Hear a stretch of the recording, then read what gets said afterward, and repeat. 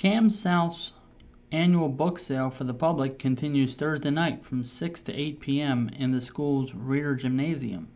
Student Nick Alleman brought many of the books that have been at the sale. Well, everyone in my family is, they're all progressive readers. We buy books almost everywhere that we can. Um, on our account, we have about 15 bookshelves in our house, and we just pretty much got them all from there. It took Alleman weeks to bring in a school high 1,414 books for the sale, which benefits the English and library departments. I was really surprised.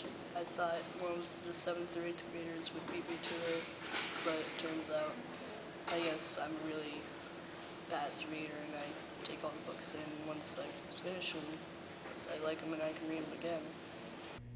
Alleman, a sixth grader, also made time for some shopping.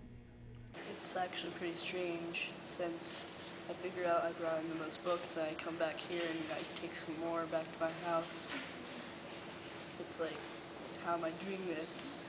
I brought in all most of all these books For Public Opinion, I'm Brian Hall.